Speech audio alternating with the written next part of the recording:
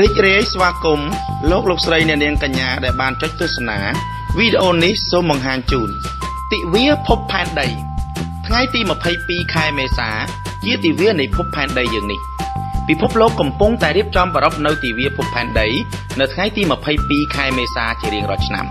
ភពផែនដីដែលមនុស្សលោកយើងកំពុងរស់នៅលើនេះ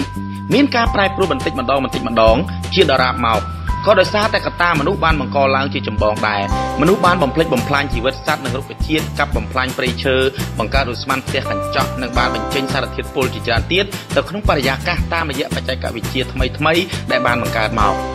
មនុស្សខ្លះមិនបានដឹងទេថាភាពឆ្លាតវៃវៃមួយនេះបាននាំឲ្យផែនដីយើងខិតជិតទៅរកភាពហិនវិនាសបន្តិចម្ដងបន្តិចម្ដងបាន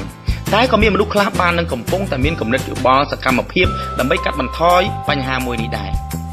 តើមនុស្សគួរធ្វើអ្វីខ្លះដើម្បីការពារភពផែនដីមួយនេះទិវាភពផែនដីនេះបានចាប់ផ្ដើមប្រារព្ធឡើងតាំងពីឆ្នាំ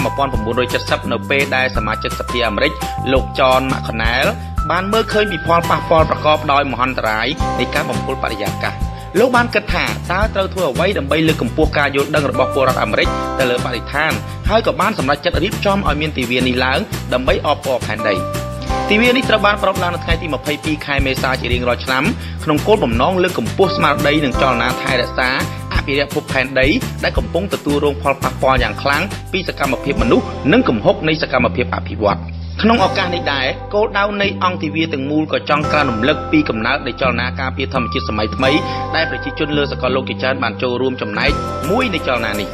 ការសម្រេចចិត្តជ្រើសយកបន្លែធ្វើជាអាហារញ៉ាំអាហារដែលផលិតដោយខ្លួនឯង ដូចជាបន្លែនិងផ្លែឈើដាំដុះរុក្ខជាតិដើមឈើឲ្យបានច្រើនជីកកង់ដែលមិនបញ្ចេញផ្សែងពុលនិងប្រើប្រាស់ធម្មពលពេលអាទិត្យសន្សំសំចៃក្នុងការប្រើប្រាស់អគ្គិសនីជៀសវាងការប្រើប្រាស់យានយន្តដែលបញ្ចេញផ្សែងពុលជាដើមសុទ្ធតែជាការចូលរួមចំណែកមួយជួយការពារភពផែនដីមួយនេះបានដែរសូមអរគុណលោកលោកស្រីអ្នកនាងកញ្ញាសម្រាប់ការទស្សនាវីដេអូនេះសូមជួយ like វីដេអូនេះព្រមទាំងជួយ share ហើយជួយ Subscribe ផងដើម្បីទទួលបានវីដេអូថ្មីៗទៀត